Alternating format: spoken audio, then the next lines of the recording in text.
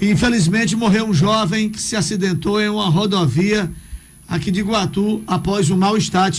Pois é, Paulo, esse fato aconteceu na saída de Iguatu com destino a Copiara e o jovem de nome Clayton, de 19 anos, é, comenta-se que ele teria tido um mal súbito, passado, passado mal, né, tido um mal-estar quando se envolveu é, neste, logo em seguida se envolveu neste acidente de trânsito. Essa imagem foi do momento do socorro desta vítima por profissionais do Sistema de Atendimento Móvel de Urgência, o SAMU. Houve uma preocupação também por parte da população que presenciou o fato e relatou que ele teria se envolvido neste acidente é, nessas circunstâncias, né, Paulinho, de ter passado mal e perdido o equilíbrio da motocicleta em que conduzia e se acidentado em seguida. Parabenizar Tio, pela solidariedade né, dos colegas aí fazendo sombra para que o SAMU pudesse atender, né?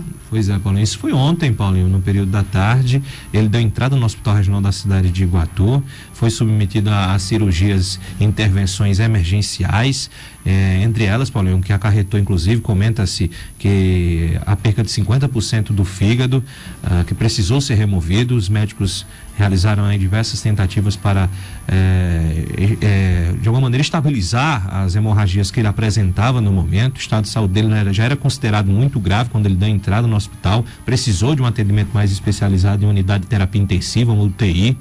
Mas, enfim, Paulo, acabou que evoluindo à morte o jovem de 19 anos, de nome Cleiton.